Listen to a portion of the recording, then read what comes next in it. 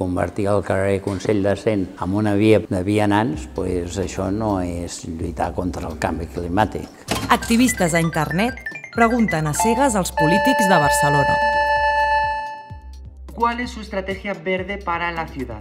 ¿Y qué lugar ocupa en sus prioridades la reducción de la polución y el hecho de querer crear ciudades mm, que puedan vivir de manera sostenible en el futuro? Pues està claríssim, no? El que hem de fer és una aposta per una ciutat que no tingui pol·lució i que lluitem contra el canvi climàtic i això exigeix tot un conjunt de mesures, unes mesures que no són les que s'estan aplicant en aquest moment. Fer entrar la muntanya de Collserola a la ciutat pues, a través de la cobertura de les rondes, això pot tenir sentit.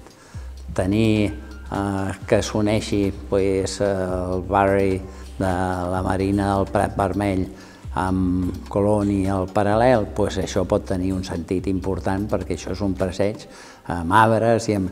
Eh, és a dir, jo crec que l'urbanisme i les decisions que pren la senyora de Colau pues, pff, són circumstancials i no afecten profundament la transformació que necessita aquesta ciutat. I l'altra aposta claríssima, doncs, escolta'm, s'ha de fer una aposta pel vehicle elèctric i per l'electrificació de la ciutat, i això tampoc es fa. El jovent seguim sent el grup de població que troba més dificultats per emancipar-se, mentre que la vida a Barcelona és cada dia més cara. M'agradaria saber quines són les propostes que teniu perquè els joves i les joves de Barcelona puguem construir una vida digna a la nostra ciutat. Bueno, hi ha una cosa bàsica pels joves i, i pels que no són tan joves. Eh? Hem de fer l'aposta eh, d'un pacte eh, entre tots els grups polítics que poden governar per, durant 20-30 anys, a fer una política d'habitatge que faci de que hi hagi habitatge públic de lloguer a preu assequible.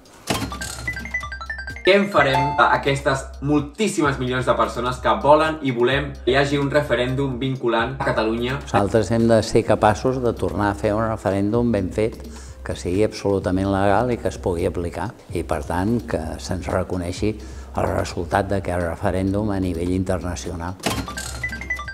Teniu algun programa que incentivi les empreses que promouen un consum sostenible? L'aposta més gran que haurà de fer aquest Ajuntament els propers anys és precisament que l'activitat econòmica que es produeix en aquesta ciutat sigui sostenible.